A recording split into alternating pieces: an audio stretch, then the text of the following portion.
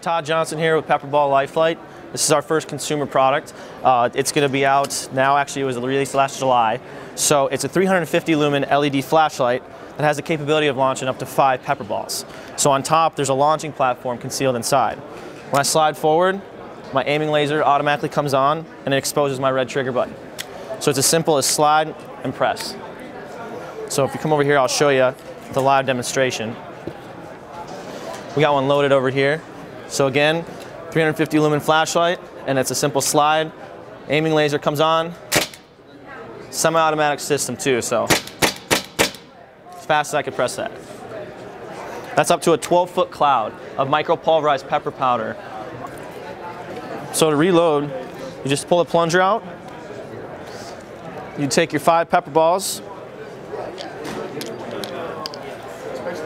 drop them in, take your follower, put it back, quarter turn, you're reloaded. Your CO2 goes up top here. You would just simply unscrew this ram all the way, drop your CO2 skinny end down, close that back.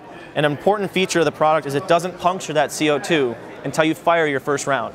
So this is a fully staged system. You could have your pepper balls with your CO2 loaded inside of it, ready to go, you know, for years later, say you need it in a real world situation, it's ready to rock and roll.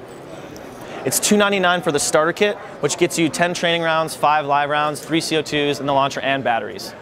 On our website right now, we are looking into retail programs, but right now it's direct to consumer off of pblifelite.com.